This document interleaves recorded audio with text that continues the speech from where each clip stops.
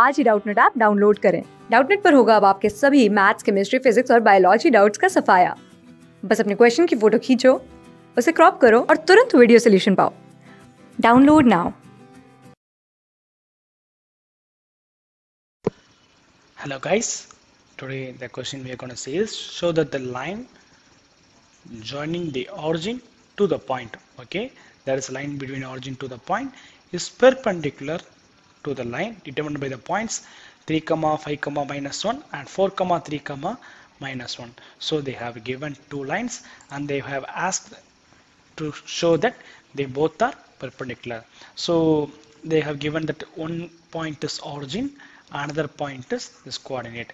Let me name these four points first. So let A of since it's origin, it will be 0 comma 0 comma 0 and B of 2 comma 1 comma 1 and C of 3 comma 5 comma minus 1 and D of 4 comma 3 comma minus 1 okay? Now the condition. What is the condition to prove this? Let us see. So what they have given to show AB is perpendicular to CD before that now we are going to find the direction ratios for these two lines. So the direction ratios let me write it as dr. Direction ratios of AB is equal to the difference between the each coordinate. So to my since it's origin it will be like same 2 comma 1 comma 1 and the direction ratios of CD which is equal to now we have to find the difference. 4 minus 3 comma 3 minus 5 comma minus 1 of minus of minus 1 okay?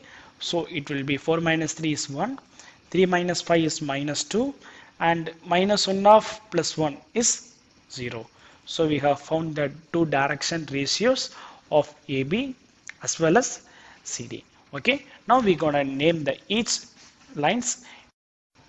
Let me name this. It will be like um, L yeah M N.